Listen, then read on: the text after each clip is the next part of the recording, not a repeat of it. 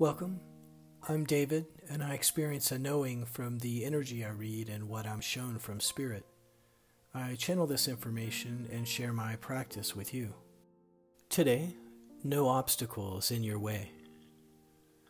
If you're feeling engaged, inspired, or just interested in something, now is the time to develop that. Don't take it for granted. Make time for exploration and discovery. Make time to learn and be able to think about what you've learned. When you're shown something that can make you excited, it's a gift. It can be small things like when you look in the grass and see everything that is right below your feet and you're in wonder. It can also mean big projects that have been waiting on motivation and action from you.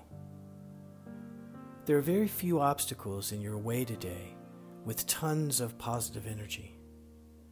Fuel yourself with gratitude and the hope that new possibilities bring. It's a straight run to gain some big mileage. So go ahead and set your intentions now. Much love.